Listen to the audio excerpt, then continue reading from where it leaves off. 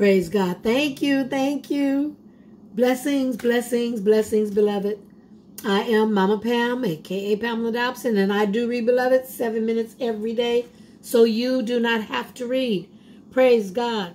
We are the Smurf family, international ministry, and we are getting ready to read the commentary for the read for today, which was today is Friday, Friday, Friday. Judges, uh, the 41st chapter. Judges, the 9th chapter and the 41st verse. My tablet went down. I read from enduringword.com. You can find what I'm reading. Go online. You can find it just like I'm reading it. Uh, uh, Judges, the 9th chapter. Scrolling it down. 9th chapter and the 41st verses. That's 21. okay, here we go. 9 and 41st. Abimelech de defeats the rebellion of the men of Sichem. I think we read that, agreed with him, follow the plan suggested. Yeah, Zebul deceived him. All right, here we go. 40, okay, 42. Abimelech attacks the citizens of Sichem and conquers the city. And that's uh, enduringword.com, number five. Enduringword.com, number five. Praise God. All right, will you, um, everyone is that is here and that is coming in, please stop talking. Please stop talking. Please stop commenting. Because if you're commenting, you're not listening. And I need you to put on your listening ears right now and you can talk to me when it's over. I'll, I'll see what you got to say, and I'll talk back to you and all that good stuff. But right now, let's pay be attentive to what's being read, okay? All right, so it came about on the next day. With the resistance of Gaal defeated, Abimelech would find it easy to establish his control over the city of Sichem again. Both outside and inside the city, they effectively attacked and killed the people of Sichem even those not directly involved in the rebellion. They just went on just killing folks. The people, apparently confident that the matter was concluded, went out into the fields as usual to engage in their daily activities. But he took the city and killed the people who were in it, and he demolished the city and sowed it with salt. So Abimelech then turned his fury against the people of Sichem and killed as many of them as he could, and he demolished their city. So indeed, Sichem was not built until the reign of Jer- Jer- Jer- Jeroboam. Ah, I, Jer- Jeroboam the first, almost two centuries later, 1 Kings 12 and 25 says. So this shows the problem of following a man who comes to power through violence. Commonly, it is only a matter of time until the same violence is turned against those who helped him come to power. Here in these United States, our previous president turned against everybody. They're dropping like flies now, and he ain't thinking about none of them. so Abimelech took an axe in his hand, and he cut down a bow. What you seen me do, make haste and do as I have done. So though Abimelech was an ungodly and violent man, he did understand some basic principles of leadership and strategizing. He strategized that thing. He understood the importance of leading through the example of one's own actions. He could tell his troops to do as I have done, and they did. Matter of fact, a good leader, a supervisor on the job, he'll tell you, make sure you come back from your breaks on time every day. Take a 30 minute lunch, not any longer. The boss will do the same thing. They make sure they come in. Amen. That's a good boss. All the people at the top of Sichem died, about a thousand men and women. So with this, Abimelech massacred the last survivors of the city of Sichem, killing about a thousand men and women. This graphically fulfilled the warning of Jotham earlier in chapter Judges 9, 19, and 20. That's his baby brother that prophesied this was going to happen. So this was as if a man should run into a stack of straw or barrel of gunpowder to secure himself from a raging fire. Their covenant with Baal, the image of jealousy, in Ezekiel 8 and 3, was the cause of their ruin. They looked upon this hole as both a fort and a sanctuary, but it saved them not. For the people of Sichem, even a secure tower could not protect them. Yet there is a more secure tower in the tower of Sichem. The name of the Lord is a strong tower. It says the righteous run into it and they are saved. For the name of the Lord is a strong tower. The righteous run into it and they are saved. Okay, that's what this say, y'all. Songs just be coming in me when I see certain stuff. So it says, the name of the Lord is a strong tower, and the righteous run into it and are saved. Proverbs 18 and 10. For you have been a shelter for me, a strong tower from the enemy. Psalms 61 and 3. God's judgment on Abimelech. Abimelech came as far as the tower and fought against it. Now, after his brutal victory at the tower of Shechem, Abimelech probably thought he was an expert at attacking towers. So he went to Thebez and he attacked that city and that tower there. And a certain woman, don't say a name, just say a certain woman, dropped an upper millstone on Abimelech's head and crushed his skull. At Thebez, a woman dropped a millstone on Abimelech's head and mortally wounded him.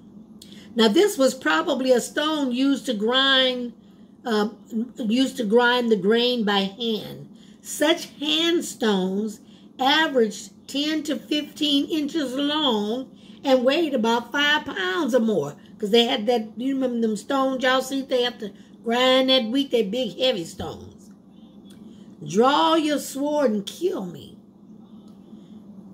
Least men say a woman killed him. So Abimelech considered it manlier to be killed by his own armor bearer, but he was still dead afterward. Either way, he gonna be dead. Proud even in death, he then had to answer to God for his wicked actions. Yet long after his death, the credit continued to be given to the woman, so it was still recorded that the woman killed him. 2 Samuel 11 and 21. But commentators observe it for just for a just hand of God upon Abimelech, that upon one stone he had slain his seventy brethren. Wow. And now one stone slayed him. His head had stolen the crown of Israel, and now his head is smitten. All righty then.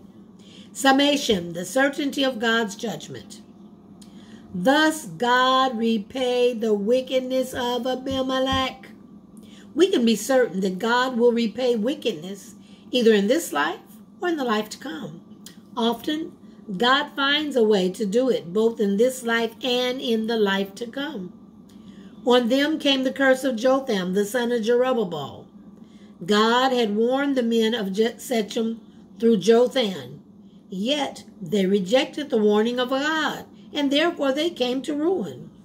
We should each consider if God is warning us about something in the present time, the story of Abimelech, the men of Sichem, and Jotham shows us that there is a real and terrible price to pay for rejecting God's warning. It's real simple. Praise God. So that's um, Judges 9. Now we go to Judges 10, all of chapter 10. Two minor judges and more oppression. So after uh, Abimelech, there arose to save Israel Tola, the son of Puah, the son of Dodo, a man of Issachar, and he dwelt in Shamir in the mountains of Ephraim. He judged Israel for 23 years, and he died and was buried in Shamir. There arose to save Israel Tula. Now, we are not told much about the career of Judge Tula, only that his service was as a judge lasted a relatively long time 23 years. Jar. After him arose Jar. We also know little about Jar. Jar's service as a leader of Israel. we do know that he served about the same number of years as Tola before him, 22 years. Now, Jar had 30 sons who rode on 30 donkeys, and they also had 30 towns, and I bet they was all named after each one of them 30 sons. This shows that Jar was a polygamous man and a man of wealth and prestige. His many sons had fancy transportation and their territory to rule. Jar never took the title of king, but it seems that he acted like one. Apostasy. Apostasy, servitude, and supplication. Then the children of Israel again did evil in the sight of the Lord. This phrase is repeated seven times in the book of Judges. It shows that the evil of Israel was even worse because they did it before the eyes of God. We could say that it's bad to commit adultery, but it's far more offensive to commit adultery before the eyes of your spouse. And they served the Baals and the Ashtaroths. The essence of Israel's sin was they served other gods. Here, seven different ethnic and national gods are mentioned that Israel went after in idolatry. Israel was attracted to these other gods, not because of the beauty and idol of an idol image, but because of what was associated with the pagan deity. Baal, the weather god, was associated with financial success. Astaroth, the goddess of fertility, was associated with love, sex, and romance. As for the other gods of the neighboring nations around them, it was a matter of conforming to the popular culture and doing what everyone else did, which is what we do today. Everybody else doing, we run and do it. Israel's worship of neighboring gods reminds us that the people of God are often in danger of worshiping what the world worships. We follow the fashion trends, whatever they wearing. We wear holes in our jeans because somebody came up and started wearing holes in their jeans. What's wrong with y'all? What's wrong with y'all? That was the time they had a group called Kris Kross. They wore their clothes backwards. Everybody's wearing their clothes backwards. Ain't y'all got a brain of your own? That's what the Lord's saying. So they forsook the Lord and did not serve him. Perhaps Israel did not consciously forsake God. Yet, adding the worship of pagan gods to the worship of the, the true God was to forsake the Lord it seems that Israel was willing to worship just about anything except the true God. So when a man stops believing in God, he does not believe in nothing, he believes in anything. According to Peter, Martyr giveth these two reasons here why the Israelites went so went so a whoring after these false gods of the several neighbor nations because they so flourished in wealth and honor, when themselves were so poor and contemptible, because the worship of the true God was so severe, but the heathenism, superstition, licentious, and ple- pleasing to flesh and blood. Israel's servitude. Israel's servitude. He sold them into the hands of the Philistines and into the hands of the people of Ammon. If Israel wanted to serve the gods of the Philistines and the Amorites, God would allow them to do so. He allowed them in the fullest sense by selling them into the servitude to the Philistines and the Amorites. You want to go be with them? Go on over there then. God let them go. Let them have their way. They harassed and oppressed the children. So they went over there with them peoples that they wanted to be with. And God let them be harassed and oppressed, the children of Israel. Of course, Israel was never blessed when they served these other gods. Instead, they were harassed and oppressed. They were severely distressed. God gave them what they wanted. We have sinned against you. So the words of this cry seem fine. But God's response seems to indicate that he saw something lacking in Israel's repentance. One may cry out to the Lord, yet really just wish things were different. Crying out to God with a voice is not necessarily the same as crying out to Him with our heart. Your voice may be making a lot of noise, but has your heart changed? God wanted from Israel the same thing that he wants from us a heart that will put its hand to the plow and not look back. Luke 9, 6 and, 9 and 62. He wants us to come to the place where we know that there is nothing worth following except God.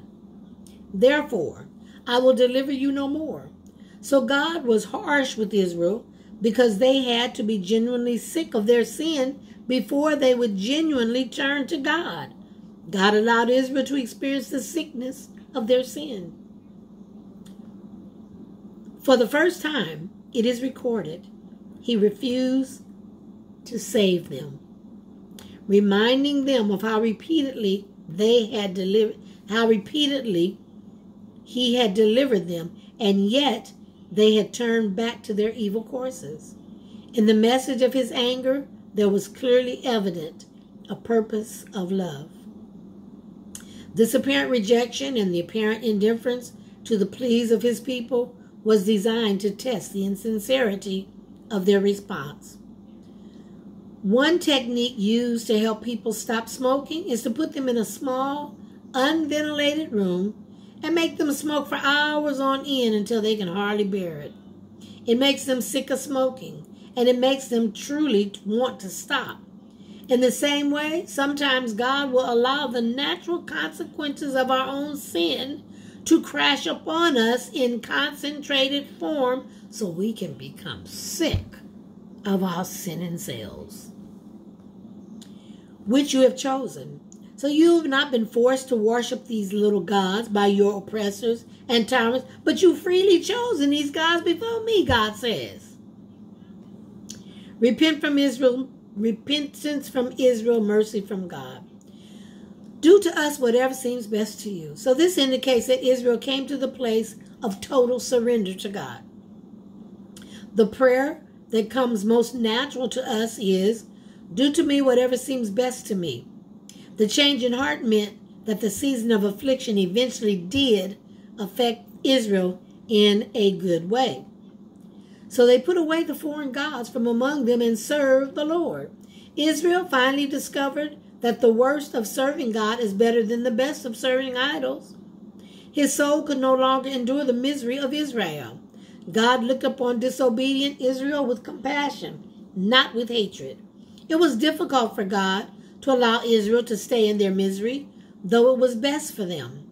Like the perfect, loving parent, God hated to see Israel suffer, even when it was good for them. He longed to rescue them, but would not do it until it was good for them. The Hebrew word literally means import, impatience. It suggests God's restlessness in the presence of suffering. It is the restlessness of his love, and that is the cause of his anger and the governing principle in all of his activities. God grieves for the miseries to which his creatures are reduced by their own sins. Be astonished, ye heavens, at this, and shout for joy, all ye inhabitants of the earth. For through the love with his compassion flowed, God has visited and redeemed a lost world. His soul was grieved, not properly or as to inward affection, for God, being infinitely happy, is not capable of grieving, but figuratively and as to outward expression, he acted towards them like one that felt their suffering. And now he grieves over you. If only you would forsake your sins and turn to him, he would assuredly raise up a Jephthah for your help. Israel gathers, but without a leader. So now the children of Israel assembled together and encamped in Mizpah in response to the Ammonite threat. Israel gathers together for defense. Who is the man who will begin the fight against the people of Ammon? So Israel gathered, but had no leader. God's pattern for doing great works among his people is to raise up a man. He could do the work all by himself. He could send angels to do the work for him. He could use a leader leaderless mob or a committee. Yet God's normal means of operating is to raise up a man. And through that man, to do a great work. Because God uses leaders. God needs Mama Pams in this world that'll just come forth and just do what he tell them to do. That concludes our commentary read for this evening. I do thank you and appreciate you. Enjoy this recording, and if the Lord lays on your heart to give a financial blessing, please do. Dollar sign Mama Pam 23, dollar sign Mama Pam 23. Praise God.